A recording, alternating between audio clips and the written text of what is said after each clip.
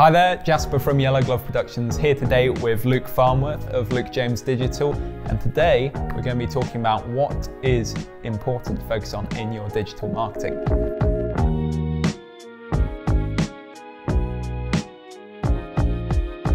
So Luke, how are you today? All good? Yes, very good, very good. Good, good. So we had a good chat last time. I we think. did. What did we talk about? Something about digital marketing, I'm sure.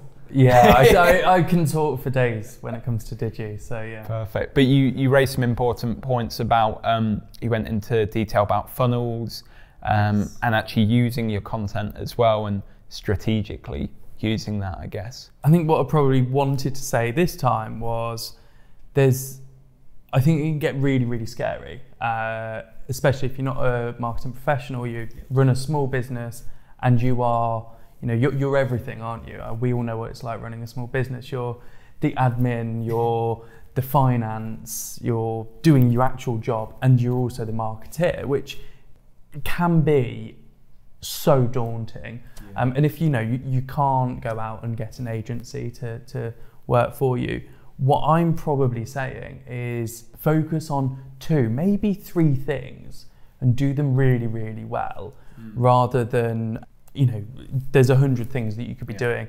Doing a hundred things, not that great. Um, doing two or three things makes more sense. It's that whole jack of trades thing, isn't it? You don't want to be a, a, jack of all trades.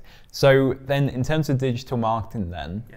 I guess it's different for you know a case business to business, yeah. but um, you know, what, what would you say are two sort of important things that you really focus on? First thing to focus on is what platform you're going to focus on, right? So before you even say what you're going to do, you could be on so many platforms. You could be on the platforms that come and go. Clubhouse, you know, where did where did oh, that remember go? that? Yeah, um, that was an interesting week. yeah, yeah, I know. I, I had I, this. It, it's an important point though because that week I probably had five, maybe six calls from clients saying, "Should we be on this?" Let's see where it goes. Yeah. Um, and and that that shows again. You know, it doesn't matter what your budget is. Don't don't just do everything because. Yeah. Um, so roundabout way of answering this question. Sorry, Jasper, you know what I'm like. Um, so what I'm probably saying is work out what platforms you're going to use, work out when you're going to post. Um, so when are your audience online? Is it a business audience? Is it consumer audience? Are your audience stay-at-home parents? So it might be midday that might be the best time to, or are they out at work? So working out where your audience is and what they're doing is really important. Um, and then also how are you going to put a bit of paid media in here? So it would be great, wouldn't it, if we could post everything online and everyone see it. Oh yeah. But unfortunately, be ideal, wouldn't it? It really would. The Mark Zuckerbergs of this uh, world um, are pay to play. Uh, so we're seeing organic drop all the time, and what we're what we're seeing is, is people have to pay to get those eyeballs from their consumer. So I would be looking at your organic um, and how you're posting that, and then also just even if you know you're spending like 50 quid a, a week, that's fine. Yeah. That's fine. It doesn't have to be massive budgets, but just I'd be spending a little bit so you can continue to grow. Yeah. What you want to see is is that growth just sort of like compounding, I guess, isn't yeah, it? Just over time, yeah. even if it's little. It doesn't matter. It doesn't matter. Um, you know the the sooner you start, the better in, in my eyes, because you know if, it, if I started learning piano a year ago today, I'd be a lot better than if I started today. Um, so you know, start and, and just let that sort of grow um, over time. Have you have you got an example of a business you've worked with or a business you know that is really sort of focused on one or two platforms? You know, they really know where their audience is um, something like that. Yeah, so um, we've been working with Mr. Porky for a while now. Um, I've, I've, got a I've got a big love. I know. Um, I've got I've got a big love for, for Mr. Porky. Um, they, uh, you know, I'll say why. They took a chance on me when I started my business. So um, got a massive love for them. But but we're focusing on Facebook and Instagram. So we when we started with them. Um, they didn't really use Facebook. I think they gathered about a thousand likes just yeah. from people that knew Mr. Porky and had liked the page. And we, we grew that really, really sustainably. So we, we didn't want to like big growth. Um, we wanted to find raving fans of yes. Pork Scratchings, right? Um, and if you know me, you know I talk about raving fans all yeah. the time. Uh, I think our consumers should be raving fans for our brands.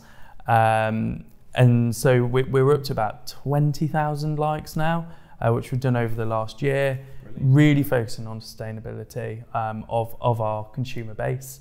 Um, and focus now starting to focus on Instagram and, and looking at like reels and video and mm. and how we can incorporate that within our um, within our marketing strategy. So so you're saying once you've found what platform works, then you can, you know, once you've had a good go at that and grown that to a sustainable level, then maybe start looking at other platforms. Absolutely.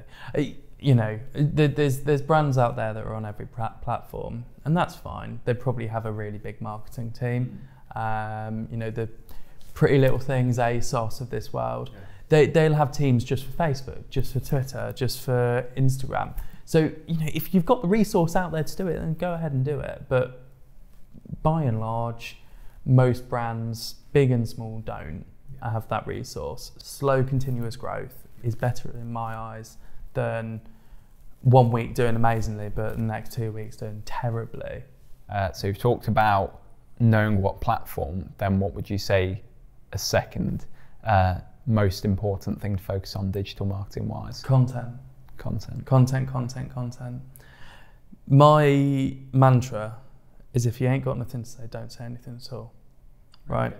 Uh, so my I, I see it all the time where I go into a business and they say, "We post five times a week." Great, brilliant. What are you talking about? Well, we've kind of ran out of stuff to talk about. Yeah. so um, you know, we're, we're talking about um, National Ice Cream Day. I'm like, it's fine, but you're a, a got nothing to do with ice yeah. cream. Um, and just sort of pulling at yeah, ideas and really, really painful sometimes, right? Um, if you've got nothing to say, don't say anything at all. Um, work out what you're going to say and say it really, really well. And use great content, use static, use video. Massive fan of video. Yeah, um, so it's always good. You know, do get in touch if you need. Yellow Glove Productions. um, I, I, you know, I think video tells a story that statics probably can't, right? Yeah. Um, and that's not to say I'm going to be. I've got to be completely honest and impartial here. That static definitely has a place within yeah, within the marketing world. Um, but video allows us to tell a story um, and show emotion as a brand. Brands have emotion, right? Um, and we want that to go through. So focus on content, focus on what you're going to say. Don't worry if you post once a week, yeah. but that post is really, really thought out. Yeah and it's got a really clear and concise message, that's so much better than posting five times but no one really knows what you're talking about. Yeah, yeah, this, this is it. Um, I think when I started, like the very beginning when I started my Facebook page for Yellow Glove Productions, I think I, I was like, oh, I've got to post every day. So I'd post like a video related news article or something. Yeah. Um, that I could that I could find. I'd, re- I'd read through. I would make sure it wasn't completely random, but it'd just be something supporting that you should have video in business. But you know, eventually it's like ran out of ideas. Yeah. it's like, okay, I need to think of something else. But the, the real change was when I stopped looking outwards for content and started looking more inwards and okay, what can I produce internally? Okay, we're a video company, so we need to produce our own video content really, uh, practice what we preach and you know, be ahead with that, be ahead of other video companies that produce amazing work, but they're not looking inwards and showing who they are. So yeah. I definitely think there's something in that where you're saying it's not about posting every day, uh, but just making sure what you post is quality content. Yeah, absolutely. I've, we, we worked with a client recently uh, that came to us and posted multiple times a day, right? Mm like it blew my mind how often they posted. Sometimes it would an hour wouldn't go by without them posting another post, and I was like, oh my god. um, and we cut that down to I think four posts a week mm. from like five posts a day to four posts a week. Our engagement was higher Yeah. with four posts a week than when they were posting like 10 times a day. So, so what do you say to those um, gurus out there? Certain big names that say three times a day is the one. Is, has that got his its place somewhere? No, or- no, it's, it's, it's not because every single brand's different, right? Um, I, I really, I, it, I'm sat here now giving advice, and I'm going to say like these gurus that say like you've got to do this, you've got to do this, you know, engage 30 minutes before, 30 minutes during, and 30 minutes after.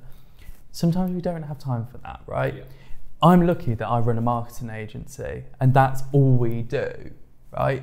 But if you're doing this yourself, you probably don't have time to do that, and that's okay.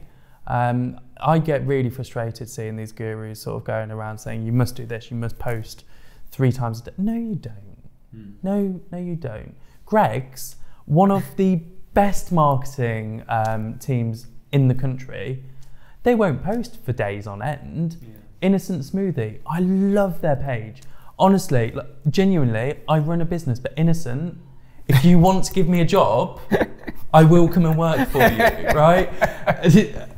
they won't post for days on end. Yeah. Um, and that's fine because they will post something that's really relevant, really funny, really engaging. It's, uh, they, they've they've done well with that sort of that branding and yeah quality content over over quantity of content. I think, which is which is very important. We've talked about what's you know important in digital marketing and, and where to where to focus.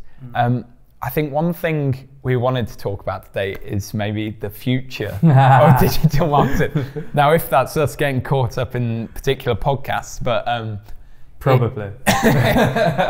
it's it's very interesting space where we are at the moment, and there's a lot of uh, keywords. I'm going to get them out for the SEO, NFTs, Web 3.0, the metaverse, um, Decentralization. decentralization. but I mean, I was listening to a podcast the other day with uh, Mark Zuckerberg, and he was talking about obviously they've rebranded uh, to Meta from Facebook, which is all a bit strange, and they've got the the hold on Meta trademarks and stuff. I don't know what's going on, but they are opening up the world of decentralization and making that more of a more of a mainstream thing. And one point that got raised was this concept of uh, online worlds, and one was Decentraland. They was talking about online space and land that got sold for millions of pounds, dollars, and I just thought, where where is the, the space for digital marketing and advertising going to be for that? Are we going to see digital billboards with our VR headsets on? We're going to be looking around. And you're See be- Mr. Porky Yeah. or Golden Wonder. That's it. What's that? And um, and yeah, I just think it's it's a very interesting future we've got ahead of us uh, in the digital marketing space. What what are your thoughts on that then? Uh, so, I think I think things are going to change a hell of a lot. I think um, technology tends to go backwards a little bit before it goes forward. Yes. Yes. So um, I saw Mark Zuckerberg posted the other day um, a, a VR uh, filter lens that they'd created, and it was for metaverse. And if I'm honest, it was rubbish. Yeah. It was what um, it was what barbecue sauce to you, and it came upon your head. It was awful. But you know that you kind of need to take a step back Yes. to then go forward. Um, I think NFTs as well. I, what we're using NFTs for right now is not what they are going to be used for. Yeah. Um, one of the uh, things that I was thinking about was like concerts. So what if you buy an NFT and that then gives you access to a concert? So it becomes a ticket ultimately because it is it is a ticket within the blockchain. Um, so it it becomes a ticket ultimately, which allows you to go to the the concert, allows you to own a part of that concert forever. I think that's really interesting. Um, Damien Hirst, I believe, Okay. um, bought out. He's back in the game. Yeah, he's back in the game. uh, bought out a really interesting NFT where there's a physical version of the art and an NFT. Yeah. After five years, maybe, you can either sell back the NFT and get the physical version or keep the NFT. So that's almost dipping our toe in. It's it's pretty crazy what's going on. I, I think that with on the NF, NFT front, there's going to be a lot with copyright and defining online licensing, things like that, which is going to be interesting for music, video, and film in particular. Yeah. Um, just showing who's who's the sole owner of that. So, you know, when contracts go through um, using NFTs as a way of currency between you know trading and bartering, it's, it's a very interesting space. Um, and maybe it will be that uh, you end up with, in terms of marketing, you know, offering NFT. You know, there's there's a very crazy future ahead. I think so, um, and I think you know going into that sort of like you know what what's it going to look like um, from a marketing point of view. We will be there. You know, brands will be there because they've got to be there. If they're not there, they will die. Um, so I think we're going to see brands getting into like the metaverse mm. um, as that comes to fruition. If I'm honest, I don't think the metaverse, in a state where everyone's in it, I don't think it's that close. No, really. no. I, I think there's a lot of work to be done.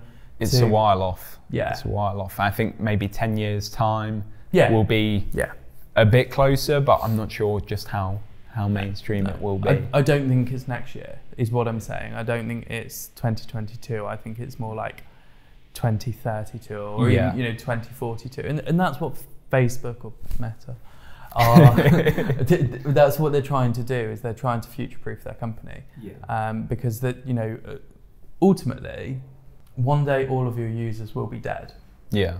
Yeah. It, and and and Facebook will be a graveyard. Ultimately, Instagram will be a graveyard. TikTok, yeah, no TikTok with 16, 17 year olds.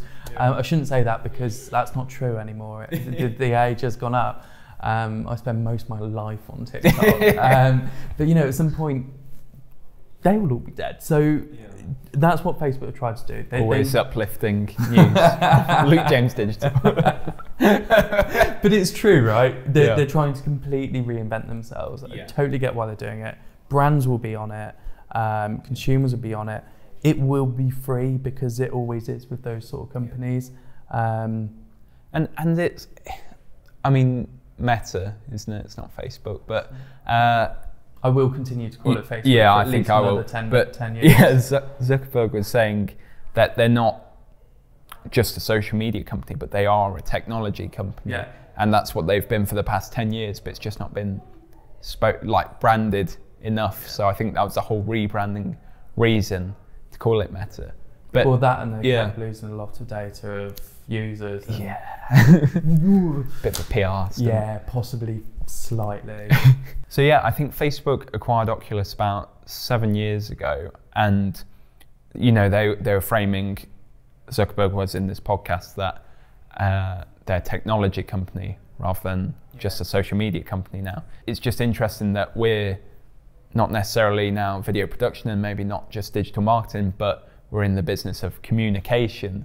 And I think looking towards these new platforms like VR, augmented reality, and NFTs, and God knows what else crops up in the next yeah, yeah, two years, or if there's another lockdown, what someone thinks of.